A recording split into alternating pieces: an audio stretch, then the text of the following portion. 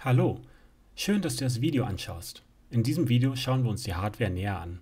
Ich habe mir alle Informationen von etlichen Seiten zusammengesucht und für euch aufbereitet. Zur Warnung, das Video ist nur für technisch Interessierte interessant. Alle anderen werden höchstwahrscheinlich einschlafen. Und los geht's. Im Unbox-Video habe ich einige Komponenten gewogen und bin insgesamt auf stolze 260 Gramm gekommen. Was für ein Smartphone wirklich viel ist, da es aber schon eher ein Pocket-Computer ist, sind 260 Gramm gar nicht mehr so viel. Das ist wohl eher eine reine Ansichtssache. Ich habe das Smartphone einmal selbst vermessen. Da bin ich auf eine Breite von 76,5 mm gekommen, auf eine Höhe von 153,1 mm und eine Tiefe bzw. Dicke von 15,7 mm. Mit diesen Abmessungen habe ich auch eine Hülle bestellt.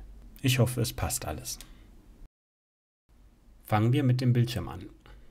Es handelt sich dabei um einen 5,7 Zoll ASI-Bildschirm von Mantix. Der ASI-Bildschirm hat Vorteile, zum Beispiel im Stromverbrauch, da die Flüssigkristalle sehr lichtdurchlässig sind. Solche Bildschirme werden aus technischen Gründen nur bis zu einer Pixeldichte von 300 dpi eingesetzt. Dieser Bildschirm hat eine Dichte von 282 dpi, daher kein Problem.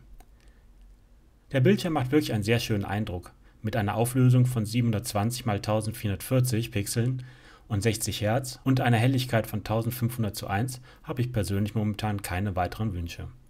Obwohl der Bildschirm verfügt nicht wie gewohnt über eine Art Gorilla-Glas, sondern hat einen auf Plastik basierenden Schutz. Daher würde ich je nach Umgang zu einer Schutzfolie raten.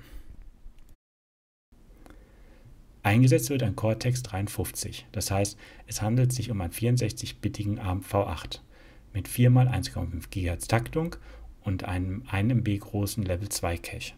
Der SoC wird im 28 Nanometer Verfahren hergestellt. Der SoC trägt den Namen IMX8M und wird von NPX hergestellt. Neben der Grafikeinheit verfügt er ebenfalls über einen Cortex M4F, der mit 266 MHz getaktet ist. Der SoC wird auch in der Automobilbranche gerne eingesetzt, daher gibt es kleinere Verteilungskämpfe und lässt scheinbar die Auslieferung vom Librem 5 weiter verzögern. Was gut ist, MPX bietet Support für den SOC bis 2028. Das sollte uns erstmal reichen.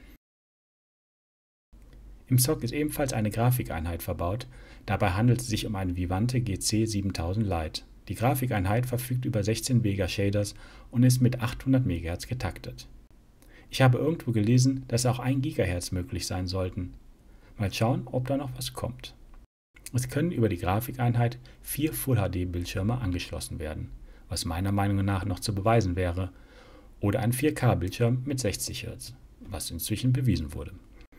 Im Prinzip unterstützt die Grafikeinheit OpenGL 3, OpenGL ES 3 und Vulkan, aber der quelloffene Treiber kann die Funktion nicht bedienen und bleibt bei OpenGL 2 hängen. Da könnte eventuell nochmal was in der Zukunft kommen. Was auch unterstützt wird, ist hardwareseitiges Decoden in Full HD mit 60 Hz mit den Codecs H265, 264, VP9 und VP8 und Encoden auch in Full HD für den H264 und VP8. Sehr wichtig ist aber auch zu erwähnen, dass Quake schon auf dem Telefon lief und seitdem ist es offiziell ein richtiger Computer. Beim Arbeitsspeicher haben wir mit 3 GB eine ordentliche Speichermenge. Mehr ginge zwar, aber dieser ist deutlich teurer und würde den Preis des Librem 5 unnötig in die Höhe treiben. Der DDR4-Speicher ist zwar mit 2133 MHz eigentlich schneller, durch die CPU ist die Anbindung aber auf 1600 MHz beschränkt.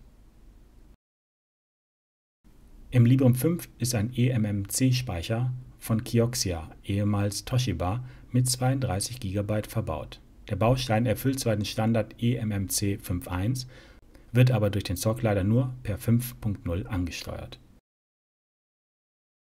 Auf der Rückseite haben wir eine Samsung-Kamera mit rund 13 Millionen Pixel, einem 1 Drittel Zoll CMOS und die Blende liegt bei 1,9 und einer Brennweite von 28 mm. Der Autofokus arbeitet ab 10 cm aufwärts und der Aufnahmewinkel liegt bei 81,5 Grad. Dazu gibt es noch ein warmweißes LED-Blitzlicht was mich überrascht hat, da inzwischen alle nur noch kaltweißes LED-Licht nutzen. Die Frontkamera SK Hynix hat 8 Millionen Pixel und einen 1 Viertel Zoll CMOS. Eine Angabe für die Blende konnte ich nicht finden, aber der Aufnahmewinkel liegt bei 83,3 Grad. Der Autofokus arbeitet hier in einem Bereich zwischen 28,9 und 65 cm. Beide Kameras funktionieren noch nicht, aber die Treiberentwicklung ist voll im Gange. Ein erstes Bild gibt es schon. Nicht erschrecken. Es ist in einer Auflösung von 640 x 480, aber immerhin schon in bunt. Zur Ortungsbestimmung wird der Chip Teseo Live von ST Microelectronics eingesetzt. Er kann sich der Signale der folgenden Navigationssysteme bedienen: dem bekannten Navstar GPS der USA aka GPS, dem europäischen Galileo, wo schon 24 von 28 Satelliten aktiv sind, dem russischen GLONASS und dem chinesischen Baidu, dem japanischen QZSS und zu guter Letzt dem indischen SBAS. Ich denke, damit dürfte man als Reisender eine recht gute Ortsbestimmung hinbekommen. Als Soundchip haben wir den Wolfson Media WM8962 von Cyrus Logic eingesetzt. Der Chip ist für die beiden Mikrofone, die beiden Lautsprecher und den Klinkeanschluss zuständig. Der Chip LSM9DS1 von ST Microelectronics hat drei unterschiedliche Sensoren. Ein Beschleunigungssensor, damit er messen kann, wenn man ihn schüttelt oder wegwirft. Ein Winkelgeschwindigkeitssensor, um Neigungen zu messen, zum Beispiel für Steuerung. Und ein Magnetfeldsensor, bekannt als Kompass.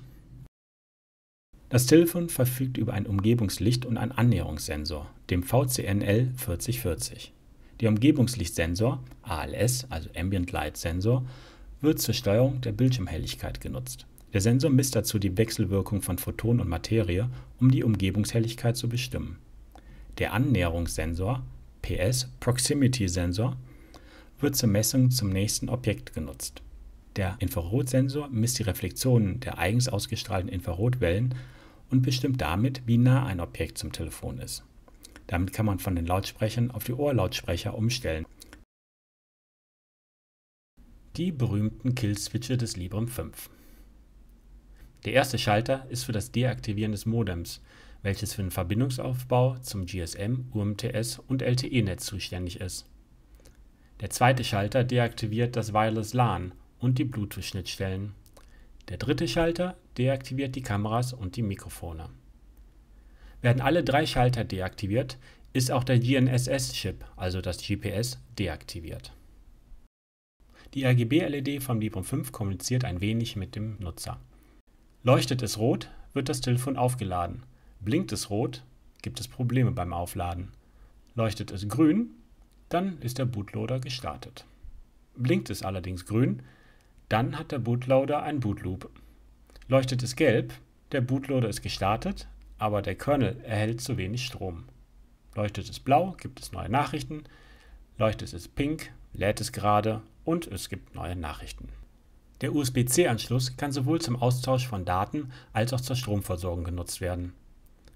Der Chip stellt USB 3.0 bereit, welches theoretisch bis zu 625 MB die Sekunde bereitstellt. Leider aber nicht die CPU, die ist mit 150 bis 170 MB die Sekunde beschränkt. Der Anschluss eines Monitors verläuft über den Alternative Mode (Alt Mode). Ich habe damit via Dock und HDMI meinen WQHD-Monitor angeschlossen. Soweit, so gut. Ob das auch via DisplayPort geht, müsste man ausprobieren, aber ich denke, das sollte kein Problem sein. Die Stromversorgung, in dem Fall dieses Aufladen des Telefons, müsste eigentlich mit bis zu 18 Watt möglich sein, aber momentan ist die Amperestärke zu Akku reduziert Daher wird nicht mit 3,2 oder 1,5 Ampere geladen, sondern nur mit 0,5 Ampere. Das soll sich aber in Zukunft ändern. Ich denke, da geht man auf Nummer sicher. Und ehrlich gesagt, lieber langsam als laut. Wir haben an dem Telefon ein 4-Pol 3,5 mm Klinkebuchse mit einer CTIA-Belegung. CTIA ist deswegen total doll, weil man damit einen dreipoligen Kopfhörer anschließen kann. Warum es bei Vierpoligen überhaupt zwei verschiedene Standards gibt, keine Ahnung. Ergibt auch irgendwie gar keinen Sinn. Aber ich wollte es mal erwähnt haben. Das Telefon hat, wie fast alle, ein Dual-Slot, Schlitz, Tray, Schubladen, Fach, Dingens, wo eine Nano-SIM und eine MicroSD untergebracht werden können. Beim MicroSD können angeblich bis zu einer Kapazität von 2 Terabyte untergebracht werden. Leider ist das Lesegerät per USB 2.0 angebunden und kann also mit viel Rückenwind 40 MB die Sekunde schieben. Spart euch bitte daher teure Karten und investiert die Kohle in eine Schutzfolie und Handytasche oder am besten direkt in eine zweite Akku. Bei dem Thema Modem war ich anfangs irgendwie überfragt. GSM, CDMA, UMTS, HSDPA, LTE und das alles nochmals in etlichen Frequenzen und Techniken unterteilt. Und dann auch noch die Frage in Verbindung mit welchem Provider. Also eine Frage, die ich mir bisher einfach noch nicht gestellt hatte und auch eigentlich nicht musste. Naja, nützt nichts. Also habe ich alle Modemkarten, die von Prorism zur Auswahl stehen, in eine Liste eingetragen und auch deren unterstützten Frequenzen und Protokolle. Dann habe ich die europäischen Länder genommen und deren Provider und ihre Frequenzen eingetragen.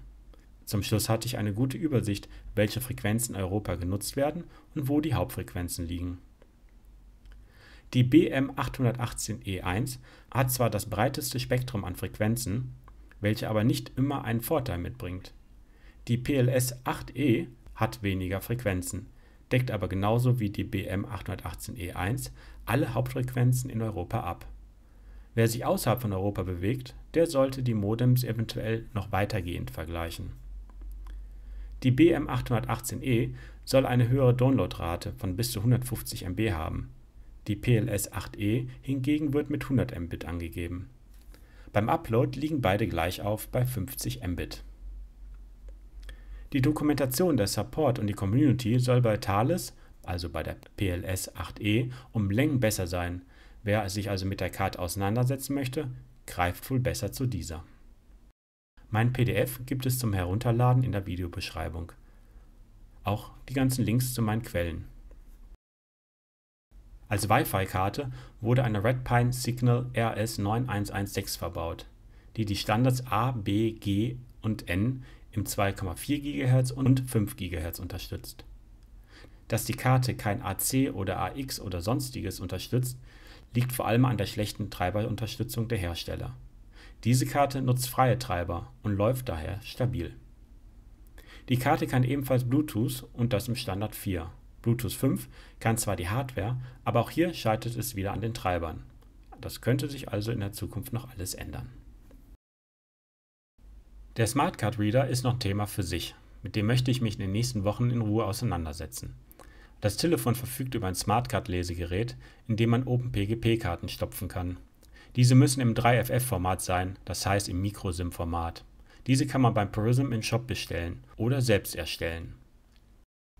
Über den Akku kann man eigentlich nur wenig sagen, da es ein normaler Lithium-Ionen-Polymer-Akku ist mit 4500 mAh reichlich Kapazität hat und austauschbar ist. Ich komme gerade von meinem Nokia 8310 wieder zurück. Auch dort kann man den Akku auf die gleiche Art und Weise wechseln. Also nichts Neues für mich. Ich verstehe den ganzen Hype darum nicht. Die Laufzeit des Telefon- bzw. des Computergeräts oder doch Pocket Computer, die Laufzeit liegt momentan bei 8 bis 12 Stunden und soll nochmals verdoppelt werden wobei ich persönlich bei einer Laufzeit von 16 Stunden bei normaler Smartphone-Nutzung schon wirklich zufrieden wäre. Es wird an den Themen mit viel Herzblut gearbeitet. Da kommt also wirklich noch einiges. So, da sind wir bei der Hardware soweit durch. Bitte gebt mir einen Daumen nach oben, wenn es euch gefallen hat, lasst ein Abo da und klickt die Bimmel, damit ihr am Ball bleiben könnt. Was mir beim Erstellen des Videos aufgefallen ist, ist so eine fehlende Definition. Ich finde es teilweise sehr befremdlich, bei bestimmten Themen von einem Telefon oder Smartphone zu sprechen, da es in der Rolle ja nicht das Smartphone ist, sondern eher der Computer. Das Librem 5 ist genauso ein Smartphone, wie mein Notebook ein Kalender ist. Ich bin noch etwas verwirrt, wie ihr merkt, aber immerhin glücklich dabei. Ich habe mich vieler Quellen bedient, und sich bei einer Person zu bedanken wäre irgendwie vermessen. Aber ich finde gerade Amos Batto hat sich mit einer Detailverliebtheit einen Extraplatz verdient. Vielen Dank für deine Arbeit. In der Purism Community findet man grundsätzlich sehr viel positive Unterstützung, auch bei den dümmsten Fragen.